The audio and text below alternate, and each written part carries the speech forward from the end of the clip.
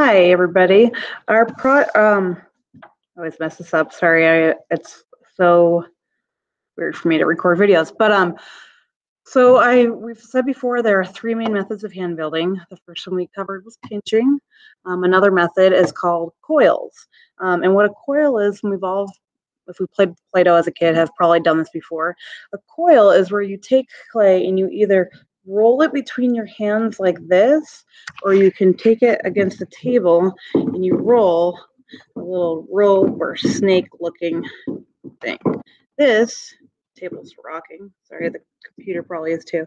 This is a coil. So our project this week, we will be making a seven inch coil pot. So I'm going to show you guys some examples here. Uh, so the requirements for this project is it needs to be made out of coils. Um, it has to be seven inches tall. And at least three rows of your pot need to have fancy coils or designed coils. So I'll show you what I am talking about. Um, here, oh, a little sharp. Here is a coil pot.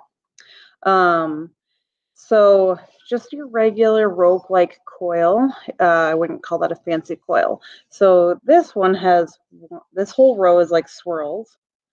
This is kind of up and down. These are little triangles and these are balls. So this coil pot has one, two, three, four rows of designs. So um, your coil pot has to just have at least three of these, your rows have to have designs. You could do more if you want. Um, your designs can repeat. They don't have to be three different designs. You just need to have three rows of designs. So I'm going to show you another example uh, of a seven inch coil pot. And this one has three rows of the same design, um, which is fine. Just three rows have to be designed. And then I also would recommend always finishing it kind of with a regular coil, just so that kind of makes the top all even. Um, there's lots of different coils we can use. This pot, it's kind of hard to see, has these balls are one design. These little triangles is another. It's Brady piece is another design. These balls is another. And this little twist would be another design. So this one would have one, two, three, four, five designs. So again, that's more than three. Totally fine to do more than three. Uh, I've had students in the past do their whole coil pot that was all just design. So that's fine to do also. Um, here's a coil pot. This one kind of, these are more like a slab. They're not rolling a coil. So you need to want to make sure that all of your, um, your, all of your rows are made out of coils. Um, there will be projects in the future where we do combination of methods, pinching, uh, pinching, coiling, or slabs. But for this project in particular, we're just we're just doing coils. Um, the base of your project could be a slab if you if you want that so you can roll out a slab um, to support your base. Or another option for your coil pot is to do a coil for the base. So whichever way you want to do it it's totally fine by me so you, i just said we're only doing coils. Your base could be a slab but the coils uh, or the walls need to be made out of coils.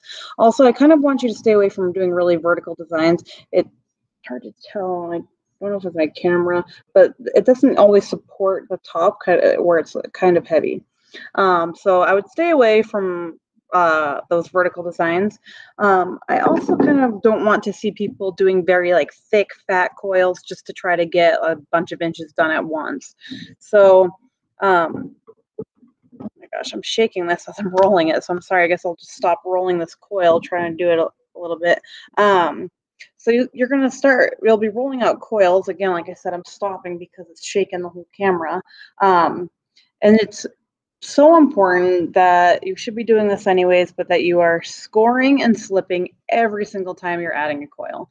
So you're going to be doing the top and the bottom. And if you want to go one extra step, it that never hurts. Uh, you can partially smooth, but you want to smooth those two pieces together or your rows. Um, so yeah, you do not need a lid. Uh, you just have to be making seven inches using coils. Uh, and again, however you want your designs to be, you can. Just three rows need to have designs on, or three of your rows need to be designed coils. And they do not have to be different coils. All three could be the same. Um, here's just a little swirly that I made. So um, yeah, just have fun exploring coils.